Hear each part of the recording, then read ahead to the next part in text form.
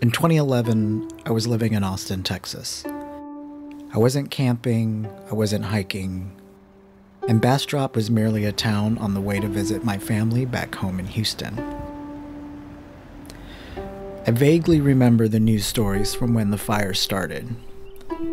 The outdoors weren't part of my consciousness back then. But what I do remember is going outside of my apartment one day and smelling the smoke. In Texas, smoke can be common, but this was different.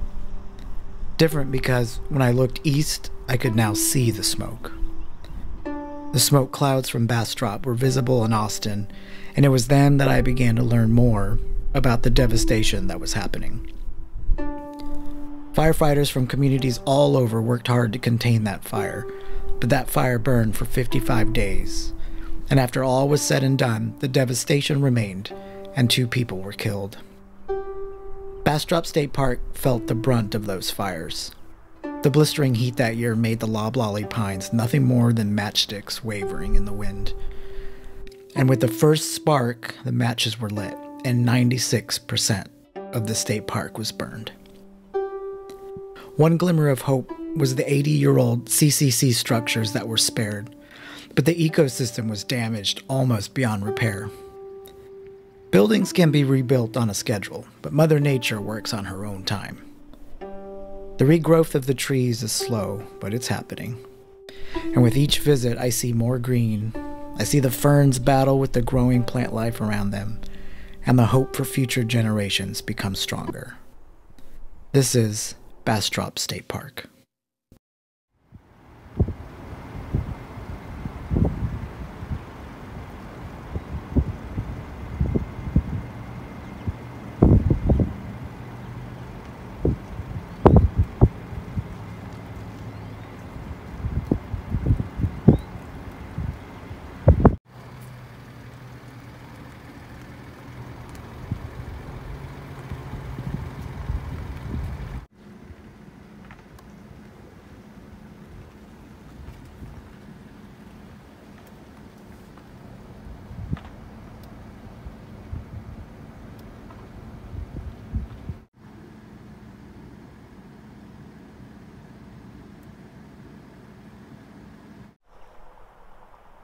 Thanks for coming along on my journey through Bastrop State Park. I hope you see that the park has come a long way since 2011 and you definitely should make your way out here. Come visit this beautiful state park. If you have extra time, go visit Buescher State Park as well. Thanks for following along.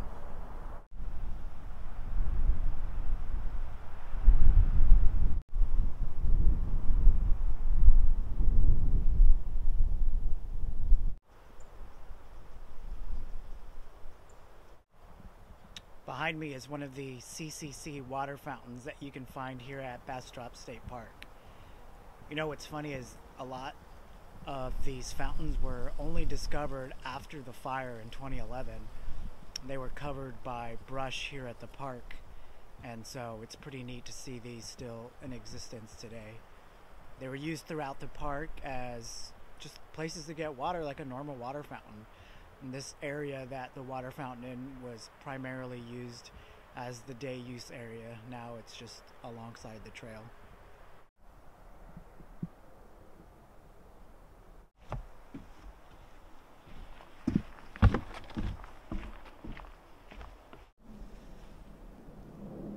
Here on the Red Trail at Bastrop State Park, it's the Scenic Overlook Trail that'll merge into the Loop Trail and this is point of interest number five. And all it says on the map is nature's handiwork. So seeing a lot of regrowth in this part of the park for sure. Lots of young pine trees that are growing from the ground. So it's pretty neat to see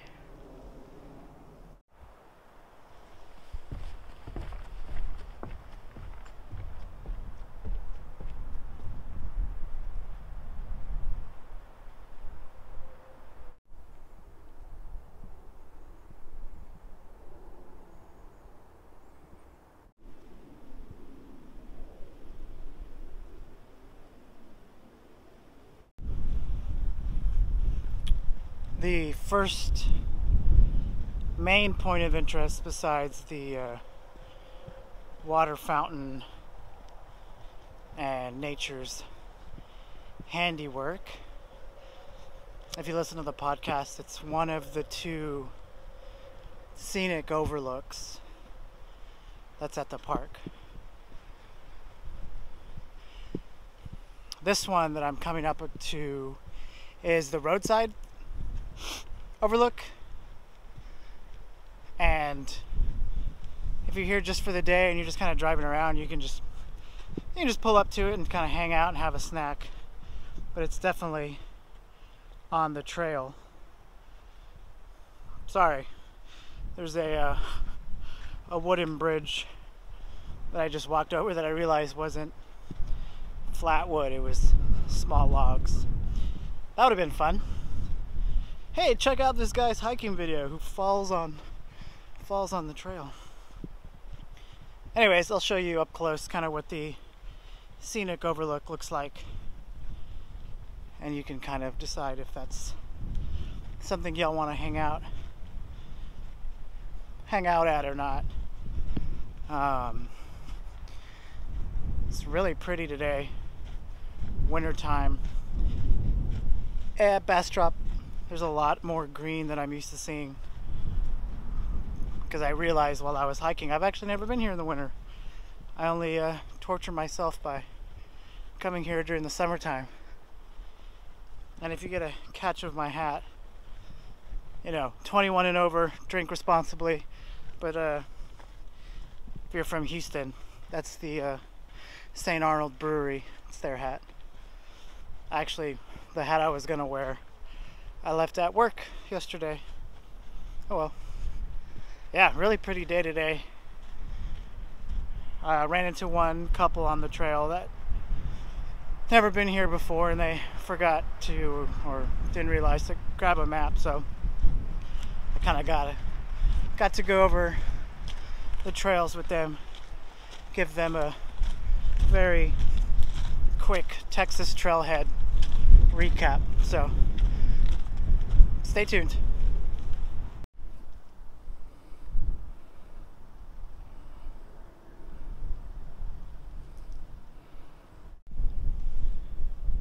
I'm here at Scenic Overlook. It's uh, point of interest number four. Just a CCC little gazebo almost. There are some picnic tables in the background. And uh, you can kind of see the view through the building and kind of what you'll overlook. Great spot to rest great view. See the uh, highway below. Bastrop's booming, I tell you. Lots of growth in the area. So that's uh, point of interest number four, scenic overlook.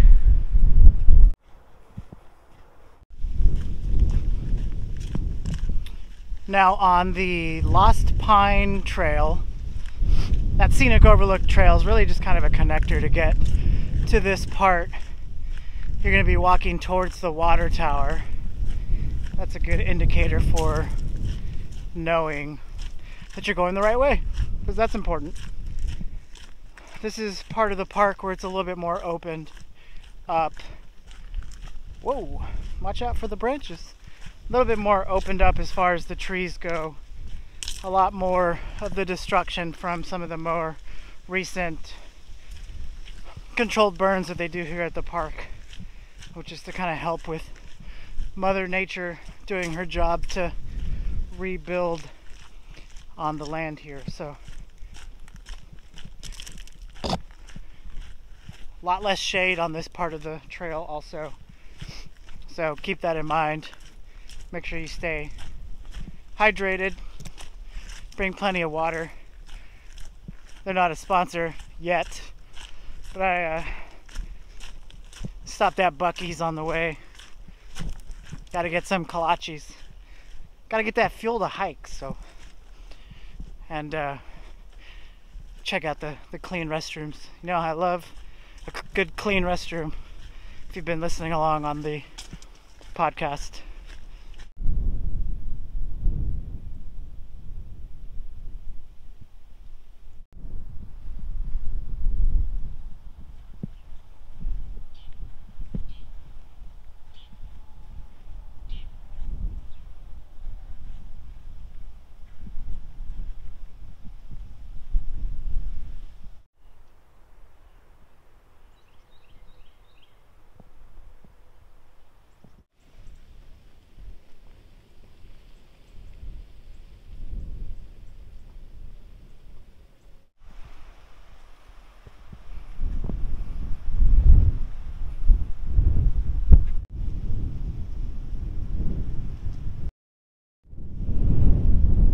This is the section on the Lost Pines Trail that comes up to the old road that goes through the park. You can see it behind me. You'll cross over it. You can take this as a shorter way to do the loop. It just makes like a half loop. Uh, one direction you'll get to the park gate, and then the other direction you'll just go to the other end of the loop. So it's a clay clay road bed that I've seen get pretty muddy. So just kind of be careful, especially on a day like today where it rained in the area uh, all day yesterday. There's a lot of really good drainage at Bastrop Park. A lot of the trails are actually sand, so the water doesn't sit on the surface. But be on the lookout for the uh, road bed when you are on the Lost Pines Loop.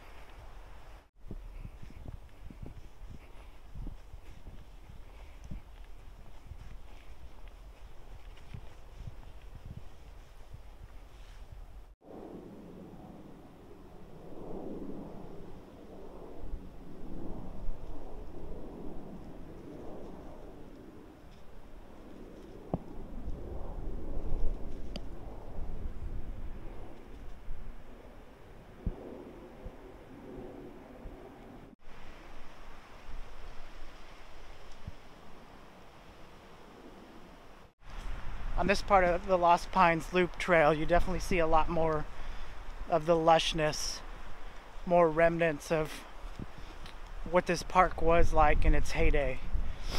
There's a lot of fallen limbs still, but you know, that's part of the regrowth. Part of that regrowth is knowing kind of where it's been and seeing where it's going. So it's good to be optimistic about hiking here and seeing everything that wasn't damaged and just helps you in being hopeful and seeing what this park can be for future generations once it is back to whatever your definition of normal is, I guess.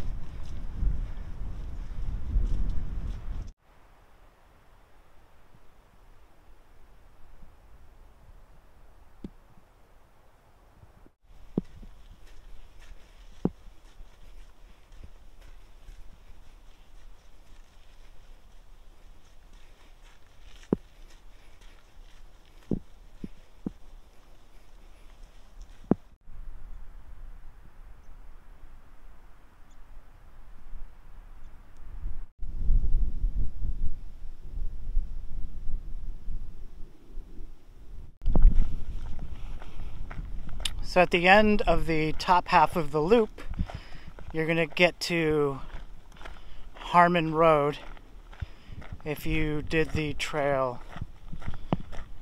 I don't know, I guess if you do it counterclockwise or clockwise, eventually you're going to hit Harmon Road. You'll just stay on the road a little bit till you get to the next trailhead. It's really pretty today.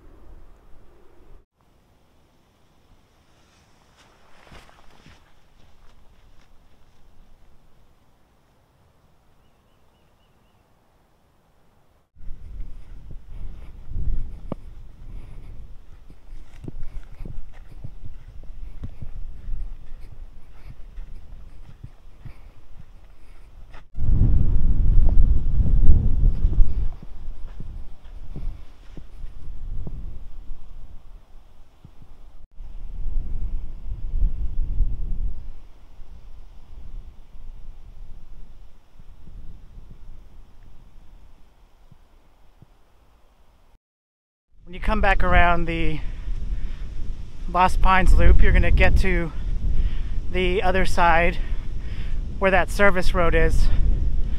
So just know you're going to go left there. You'll keep walking a little bit and you'll see the trail sign. Just a heads up.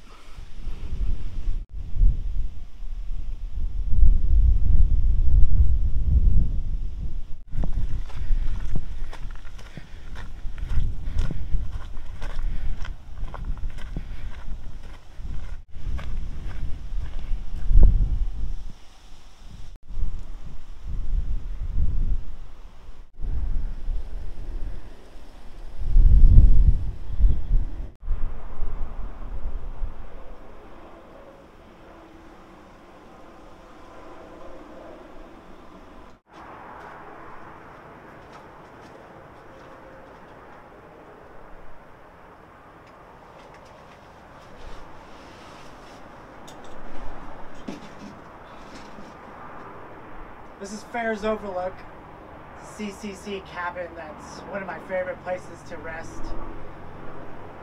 You're in the middle of a forest in a state park, but you're also in Bastrop. You can see Highway 71 below the overlook. Just an interesting juxtaposition of growth and Texas history. So I'm gonna grab a snack. I got some gummy worms. Those should be pretty good.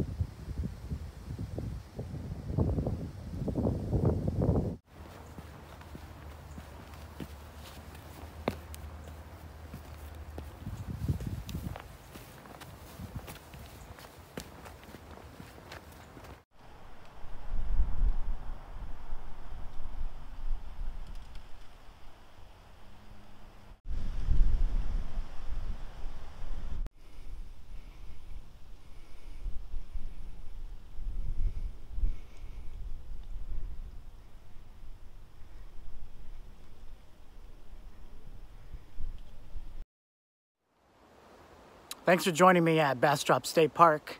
If you've been here before, you know how beautiful it can be. If you've never made it out to the state park, I definitely recommend it. Thanks for joining along with me on this hike. If you like what you saw, leave me a comment in the section below. And uh, people keep talking about call to actions. If you watch videos on YouTube, you know what to do to show your support, so I'll appreciate it.